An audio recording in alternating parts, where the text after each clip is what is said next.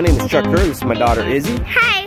We moved here about three years ago from Florida. I'm a filmmaker and a teacher. I've been teaching set construction for over 12 years now, and I put in my application to Georgia and I got a job. My name is Drew Fuller, and I've been in the film business in uh, Atlanta for the last 20 something years. I've been uh, in construction, um, costumes, locations, and my wife is also in the film business in locations. That's the house that we bought this year. Hi, I'm Todd Allen. I'm a mortgage loan officer with Synovus, which is a Georgia-based bank and financial services company. Uh, the film industry in the state of Georgia has made a positive impact on my business, as well as I know as the whole mortgage industry business in Georgia. Uh, obviously, because we're seeing more qualified borrowers that work in the film industry, this allows them the resources to apply and close on mortgages for purchase a house in the state that they now live and work. Hi, my name is Destiny Parsons, and I'm a production assistant here in Georgia.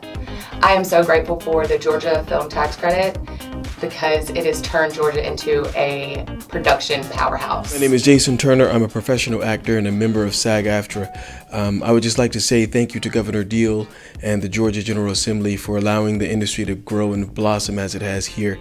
It's really made a difference for me. It's allowed me to stay home at Georgia while still um, pursuing my career as an actor. So. Now, today we're down here at Columbus State University and we want to say a big hello and a thank you to Governor Deal and the General Assembly for allowing us these tax incentives for the Georgia film market to grow exponentially as it does. So on behalf of everybody here, thank you Governor!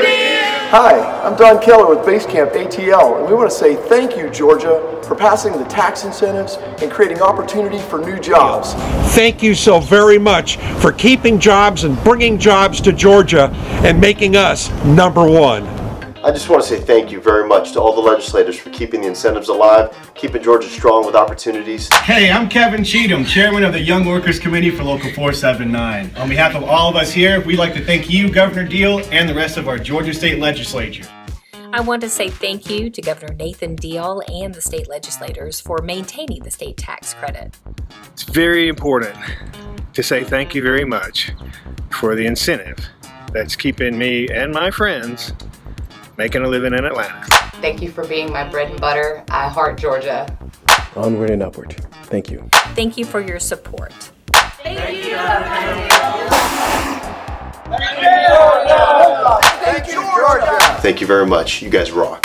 Thank you, Governor Deal, for making Georgia number one.